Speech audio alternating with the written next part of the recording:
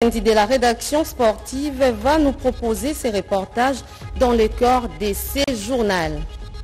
Bienvenue à tous. Chariots, machettes et pelles, autant d'outils des travaux communautaires émis dans le cadre du projet de stabilisation de l'Est du pays pour des actions de développement. C'était dans les stades urbains de Boutembo en présence de plusieurs autorités politico-administratives. Nous sommes là dans la province du Nord qui vous suivez. Le maire de Boutempo, le commissaire supérieur principal Moab Aïkite Roger, a présidé les cérémonies du lancement des travaux Timon sous les applaudissements des participants. Dans son message du lancement, l'autorité urbaine appelle ses administrés de s'approprier ces projets STEP 2 et elle n'a pas manqué de remercier le président de la République, Félix Antoine Tshisekedi Chilombo, qui a songé aux centaines de chômeurs qui sont en ville de Boutempo.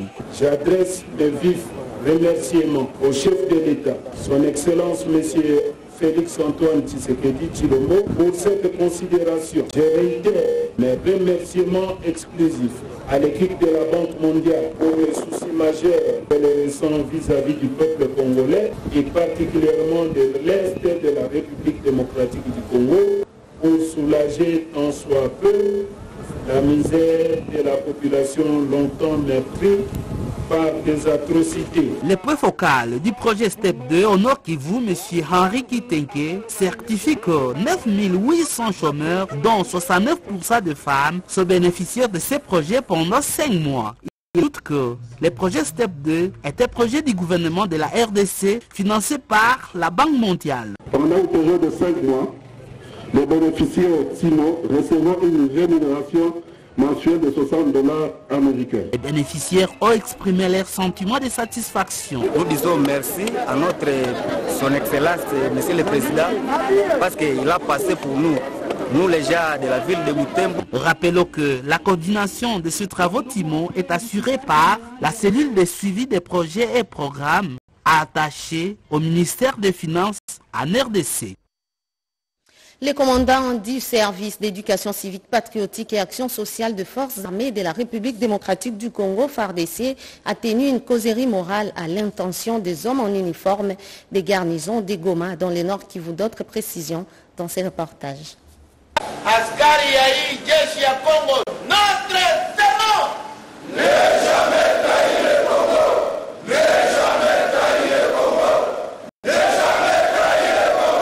Le général-major Bombé Lelo Lakami, commandant du service d'éducation civique, patriotique et action sociale des FARDC, était en causerie morale avec les militaires de la garnison de Goma, toutes unités confondues. Au cours de cet entretien, il était question pour le général Bombé Lakami d'appeler ses hommes de troupes surtout à la discipline et à une parfaite collaboration avec la population.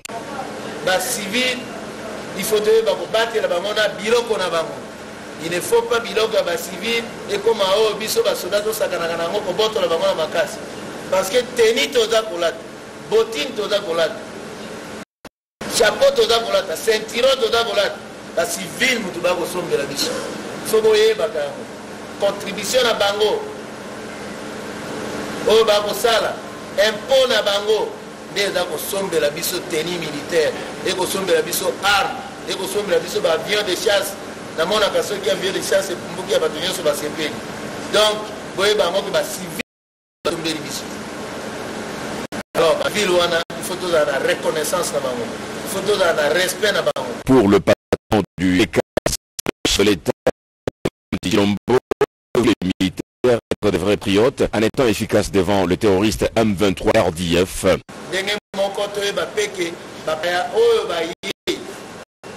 Oyo arme mosusu ya afrique austral bazali awa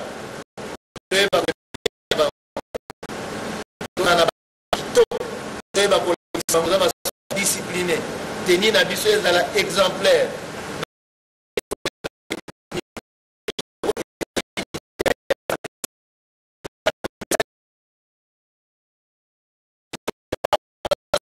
mokonzi oyo aza komanda des opérations biso mitindo. Oyo nyonso naza koinsiste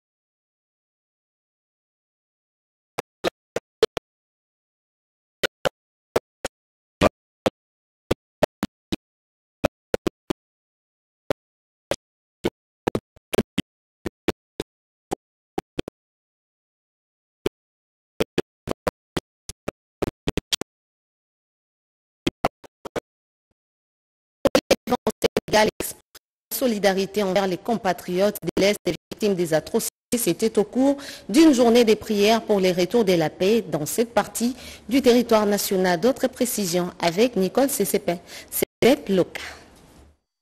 À la mobilisation pour le retour de la paix dans l'Est de la République démocratique du Congo, le nouvel ambassadeur de la RDC en poste au Sénégal opte pour des prières intenses. C'est dans ce cadre que l'ambassadeur Christophe Mzungu a convié les fonctionnaires internationaux, les étudiants, les responsables des confessions religieuses et les artistes à une journée de prières.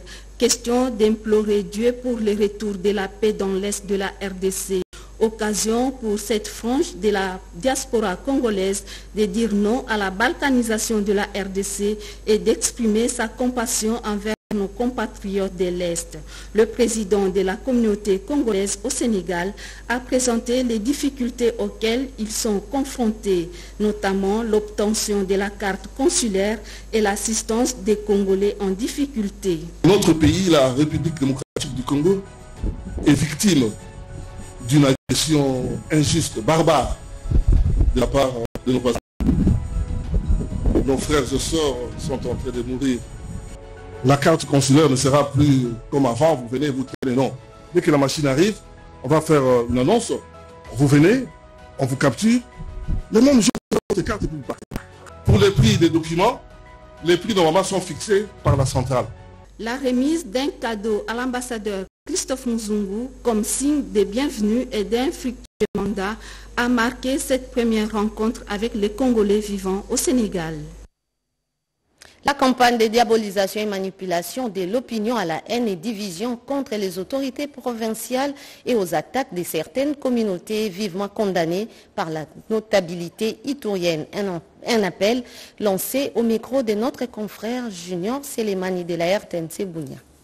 Il s'observe depuis un certain temps des tensions communautaires à Nuturi, des tensions caractérisées par des messages de haine, de division, de dénigrement des autorités légalement établies et des attaques interpersonnelles entre certains membres de communautés. Ce genre de pratiques n'ont qu'un seul objectif de replonger à nouveau cette province dans un cycle infernal de la violence, d'où une prise de conscience de tous les fils filles de estiment les intérêts sociopolitiques de cette province. Je demande à toutes les communautés itouriennes de s'unir comme un seul homme pour mettre hors d'état de nuire ce germe de division et de communautarisation de faits ou des incidents qui mettent en mal la cohabitation pacifique et le vivre ensemble dans la cohésion sociale dans notre province. Nous condamnons ces propos diffamatoires qui sont euh, adressés soit contre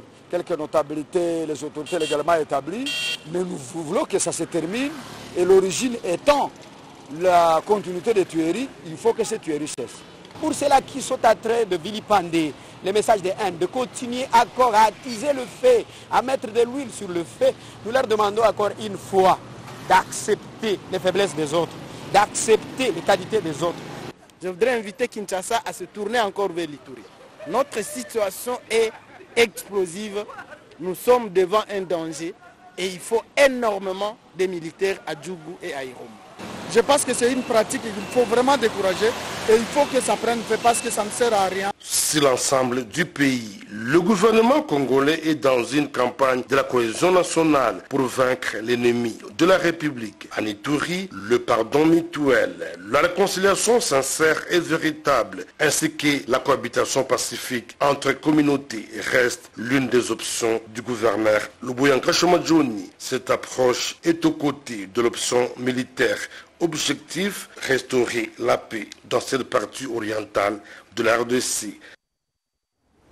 La Commission nationale de droits de l'homme, CNDH, a organisé un atelier sur le protocole de Maputo. Anastasie Doumbou nous en dit un peu plus. Accroître les ressources nécessaires en faveur des femmes et des filles dans la paix pour un Congo paritaire, ce thème national est lié dans un contexte de la guerre dans l'est de la RDC où la femme et l'enfant payent un lourd tribut. C'est dans ces cadres que la CNDH, à travers la sous-commission permanente des droits de la femme et de l'enfant, a organisé en marge du mois de la femme une journée de réflexion en vue de dénoncer toute forme des atrocités et la discrimination auxquelles les femmes continuent à être victimes. La guerre à l'Est, le conflit qui endeuille le pays, la population, et parmi les victimes, ce sont les femmes qui payent le prix. Voilà pourquoi nous allons essayer d'échelonner nos activités pour trouver des solutions. Les femmes se mobilisent pour être aussi au front, au front pour soutenir nos vaillantes forces de l'armée afin de repousser les agresseurs. La situation euh, dans laquelle vivent nos compatriotes à l'est de la République, nous allons accroître les ressources, c'est bien, mais quand il n'y a pas la paix, ça, ça ne sert à rien. Alors nous, ce que nous demandons en tant que CNDH, c'est que la paix revienne. La CNDH, à travers cette commission, recommande à l'autorité d'adopter une loi spécifique sur les droits fondamentaux des femmes et filles congolaises, de rendre effective la loi sur la réparation des victimes de violences sexuelles liées au conflit, tout en respectant formellement les engagements internationaux et régionaux qu'elles ont souscrits en matière des droits des femmes. L'ambassadeur du Canada accrédité à Kinshasa s'est entretenu avec les gouverneurs de la province du Kasaï central, John Kabea Shikai, en toile de fond le projet d'intérêt économique avec l'appui logistique aux efforts dans l'autonomisation de la femme et de la jeune fille. C'est un reportage de notre confrère Théodore Kadingwe Sylvain Kabasile de la RTNC Kananga. Merci. Arrivée à Kananga en visite officielle, l'ambassadrice de la monarchie du Canada en RDC, Madame Marise Gilbolt, est venue présenter ce lundi 4 mars 2024 ses civilités au gouverneur du Kassai central. Elle a exprimé sa joie d'être par un homme d'État très serein qui a accordé un intérêt particulier au projet épinglé par la diplomate, lesquels projets visent l'autonomisation de la femme centre-kassaïenne et de la jeune fille, mais aussi l'augmentation des relations économiques qui pourraient avoir des On a parlé de plusieurs sujets, des projets canadiens dans la région, dans la province du euh, Kassai central, et on a aussi parlé de développement économique, le potentiel qu'il y a dans le pays, dans la province ici, pour des entreprises canadiennes qui seraient intéressées à venir investir. Alors pour nous, euh, l'investissement à l'étranger, c'est important et c'est un des domaines que je veux explorer le plus pendant ma mission ici, c'est augmenter les relations commerciales et économiques entre la RDC et le Canada. Euh, les projets qu'on finance, c'est des projets de développement. Donc, c'est de, petits, moyens, grands projets. Par exemple, à raison de 9 millions de dollars jusqu'en 2028 pour aider l'empouvoirment, l'autonomisation des femmes, euh, les droits des femmes, les droits des filles. Madame l'ambassadeur a fort loué l'engagement du gouverneur de province Kabeya Shikai, qu'elle a qualifié de champion de la masculinité positive pour son combat mené afin de donner à la femme et à la jeune fille du Kassai sa valeur intrinsèque. L'autorité provinciale accordera en fin de journée une autre audience à une délégation mixte, ministère de la Justice province de Kinshasa, venu lui brosser les termes des références de leur mission de quatre jours à Kananga. Restons toujours dans la province du Kassai central pour parler du programme de développement agricole. Encore une fois, Théodore Kadingou et Sylvain Kabasele pour les reportages. Il était question au cours de l'entretien de près d'une demi-heure de présenter à l'autorité provinciale, outre les civilités, les réalisations du projet dans les territoires de Demba situés à environ 60 km du chef-lieu de la province. Un programme bénéfique du gouvernement central qui vise à identifier et appuyer les petits exploitants agricoles dans le dessein de relancer la culture du maïs à travers la province, a renchéri Jean Dédieu Mbey. Nous avons aidé à l'enregistrement des petits exploitants agricoles dans le territoire d'Endemba. Nous avons plus ou moins 2700 petits exploitants agricoles déjà enregistrés. Nous avons aidé à acquérir euh, ensemble la sémence améliorée euh, avec la contribution du partenaire FAO. Là, nous sommes en train de faciliter l'accès des petits exploitants à la sémence améliorée pour qu'ils aient euh, facilement l'accès à cette sémence. On est en train de le réussir. Maintenant, nous allons commencer ensemble avec eux à emblaver euh, les champs pour la saison B. Cette délégation du PNDA, accompagnée de leur bailleur, la Banque mondiale, ont salué la détermination de l'autorité provinciale, prête à les accompagner dans leur activité à travers le Kassai Aussitôt après, le chef de l'exécutif provincial a échangé avec quelques membres de l'association des albinos venus solliciter de l'aide auprès de l'autorité provinciale pour payer les soins de santé de certains de leurs membres malades et en enterrer d'autres. Très réceptif, John Kabeyashikai a répondu favorablement à leurs demandes et a promis sa disponibilité pour cette couche de la population chaque fois que le besoin s'est fait sentir. D'une province à une autre, dans la province du Congo central, la deuxième série de conférences sur le développement a vécu avec, succès. L'impératif d'avoir un leadership fort pour le développement de la province du Congo central, c'était le thème de la deuxième série des conférences de la journée scientifique organisée le samedi 2 mars 2024 à l'université Congo UK à Kisantu dans le territoire de Madimba. Plusieurs exposés ont été faits, notamment par le député national de Kassangulu, Didier Anissé Moukoko, Nathalie Kachacha, conseillère socio-culturelle du gouverneur du Congo central, ainsi que par le recteur de l'université Congo, le professeur Germain Kuna Maba, qui a planché sur les enjeux et les perspectives de l'émergence du développement de la République démocratique du Congo qu'il est important, et ça c'est, je vais y revenir en termes de piste de solution, qu'au niveau du Congo central, qu'il y ait une production des meilleurs, honorables, une production des meilleurs, qui doivent prendre aussi le leadership au niveau national. Qu'on ne gère pas une province comme un économiste on ne gère pas une province comme un politicien. On ne gère pas une province comme un médecin. On gère une province en manager. Et un manager n'a que deux concepts dans la tête. L'efficacité et l'efficience. L'administrateur du territoire de Kazumba, Jean-Roger Chitengue, a sensibilisé les notables sur les développements à l'Embikaï. C'est une mobilisation des troupes signées Jean-Roger Titengue, administrateur du territoire de Kazumba au Kassai central, en mission à Kinshasa pour l'essor de cette partie du pays. Dans son mot, Jean-Roger Titengue a salué les efforts du chef de l'État pour la restauration de la paix dans l'est du pays avant d'observer une minute de silence en mémoire des victimes de cette guerre d'agression barbare rwandaise. L'administrateur a appelé les filles et fils de Kazumba de mener le lobbying auprès des autorités publiques pour le développement de les contrées avant de faire état des lieux de son entité riche en ressources minérales et hydrographiques. Mais elle manque de tout. Les procureurs et les magistrats nouvellement affectés à Kazumba n'ont pas de bâtiments ni bureaux pour faire régner la loi. C'est dans ce cadre que les notables de cette partie du pays ont adressé un mémorandum au chef de l'État. Pour les suivis, un comité a été installé. Notre territoire est dans un état d'enclavement total. Les territoires de Kazumba offrent les opportunités ci-après. Vous avez la terre arabe, vous avez les nickel, vous avez les sel, vous avez les cuivres, vous avez le fer, vous avez le pétrole, vous avez les diamants, vous avez les coltans, les calcaires, ouvriers, ainsi que des rivières.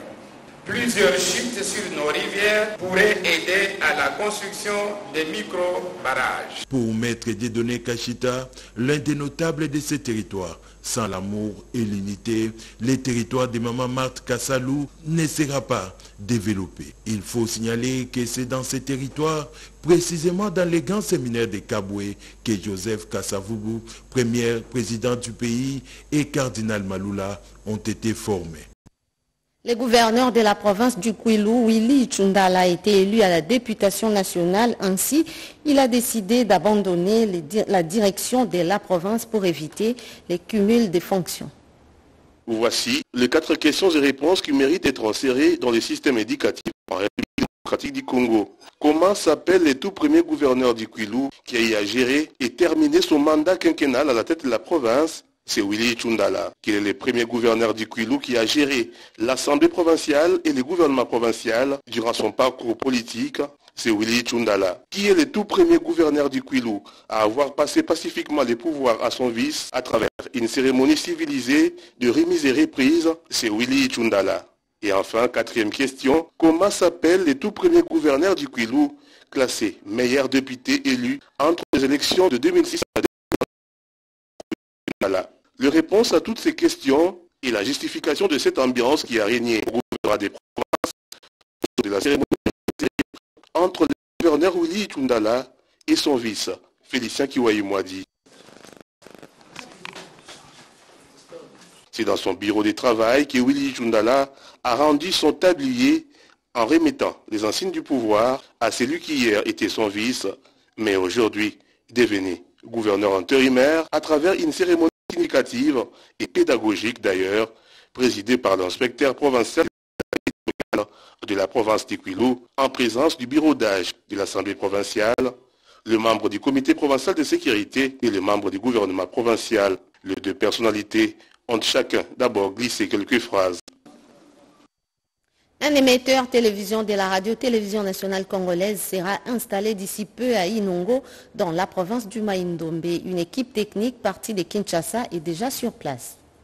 La délégation de la RTNC venue de Kinshasa, composée du directeur chef des départements techniques et logistiques, M. Léon Vouta, et sous-directeur technique chargé des stations, M. Impira, a été accueilli par Mme Hélène Sandou Bakuka, directeur provincial de la RTNC Maïndombi. Le but de leur mission est de prospecter et installer un émetteur télévision à Inongo, chef-lieu de la province. Dès l'aérodrome jusqu'à la résidence du gouverneur, cette délégation a été accompagnée par Mme le directeur et les agents pour les civilités, dont les entretiens, Madame le gouverneur met en ces termes. Alors, euh, l'avoir à la tête d'une structure comme la RTNC, pour nous, c'est une fierté.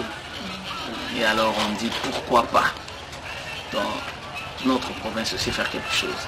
Je crois qu'on a ramené ici le l'émetteur. Donc, euh, j'ai insisté chez eux, j'ai dit, mais quand est-ce que tu envoies l'équipe On fait comment? La dame m'avait parlé un peu de préoccupation sur place pour le bâtiment et tout. J'avais dit que je vais donner un coup de pouce, mais avec tout ce que j'ai en tête, j'ai demandé au ministre, j'ai vu le courrier. Donc on va faire vite ce qu'on peut trouver et nous sommes là pour appuyer. Notez que M. Léon Vouta, qui a relayé Madame le gouverneur, a fourni des explications claires sur le but de leur mission. Entendre parler, puisque notre DG quand il est arrivé à la tête de la RTNC, son combat bataille, c'était d'abord les provinces. Les provinces, pendant la période de la campagne, euh, elle a envoyé beaucoup des émetteurs en province. Il y a au moins 21 villes. On a déployé émetteurs. Et notre objet de la mission, c'est d'abord l'installation de cet émetteur-là pour qu'il produise et diffuse localement les L'école primaire 1 et 2 Lemba rénovée et ce, après avoir subi d'intenses travaux de réhabilitation, la cérémonie de remise de cette école a été présidée par le ministre de l'enseignement primaire, secondaire et technique, Tony Mwabakazadi. Au ministère de l'enseignement primaire, secondaire et technique, la série des inaugurations des écoles publiques de prestige continue. Lundi 4 mars 2024, le ministre de l'enseignement primaire, secondaire et technique, le professeur Tony Mwabakazadi, a inauguré les PA 1 et 2 Lemba, situés dans la commune de Lemba.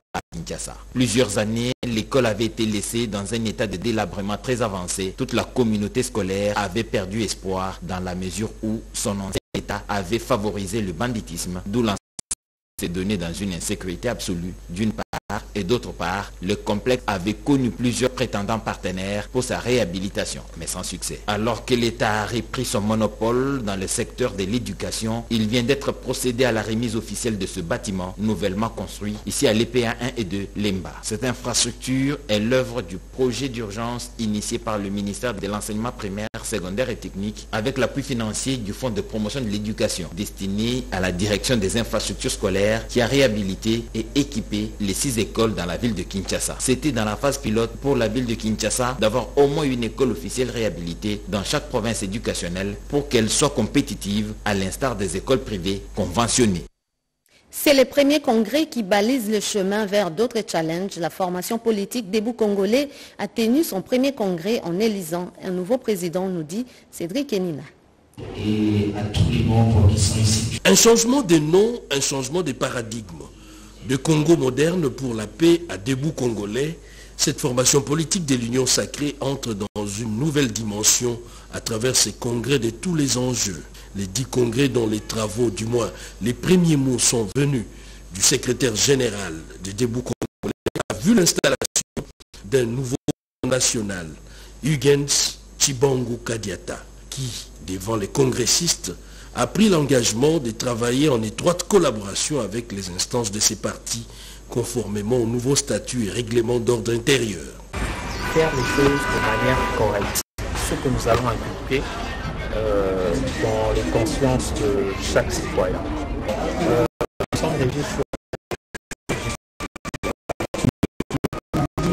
l'idéologie principale de la lutte, c'est la social-démocratie. Alors, s'il faut parler d'un pilier, sur l'idéologie de la social-démocratie. Et c'est sur ça que nous comptons bâtir notre parti. Notons par ailleurs que Debout Congolais est un parti membre du regroupement AAAC PALO. Euh... Suivez maintenant l'élément sur la signature d'accord entre la République démocratique du Congo et la Confédération du handball. Suivez. C'était au cours d'une audience solennelle tenue dans la salle d'audience du tribunal de grande instance de Bandaka en présence du procureur général près la cour d'appel de l'Équateur, M. Jean Kabongo Kamai, et de l'autorité provinciale.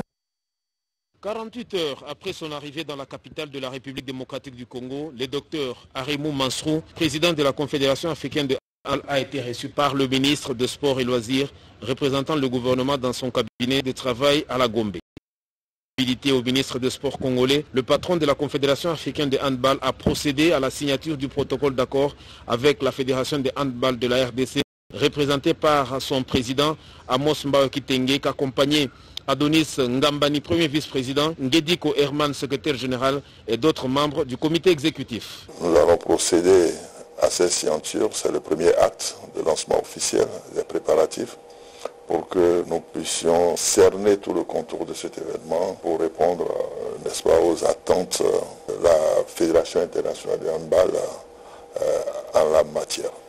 Je m'en voudrais de ne pas saisir l'occasion pour euh, transmettre la satisfaction ou les sentiments de gratitude de la jeunesse africaine à la haute autorité parce que c'est elle qui a bien vu, c'est sa vision n'est-ce pas, qui a permis de réaliser de grosses infrastructures. Et c'est là le déclic. Des moments forts et inoubliables ont ponctué cette cérémonie avec l'échange des signataires entre les deux personnalités sous l'œil vigilant du ministre des Sports et Loisirs de la RDC. Merci Jean Dieu Moukendi pour ces reportages. La dynamique des politologues de la RDC a organisé une conférence de présentation. Suivez.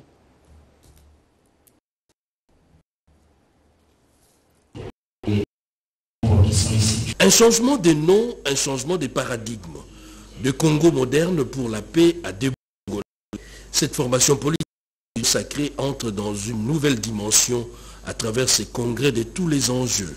Les dix congrès dont les travaux, du moins les premiers mots sont venus du secrétaire général de Debout Congolais, a vu l'installation d'un nouveau président national, Hugens